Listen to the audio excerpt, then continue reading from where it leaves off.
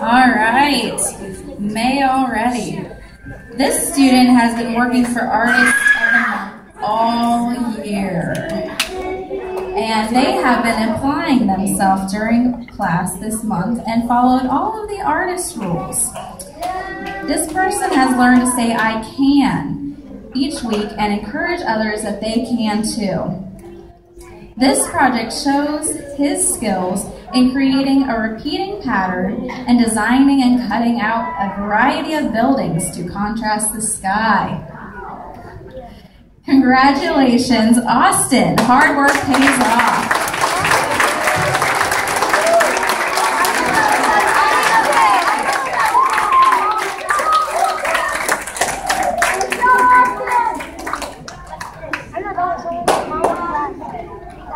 job, buddy.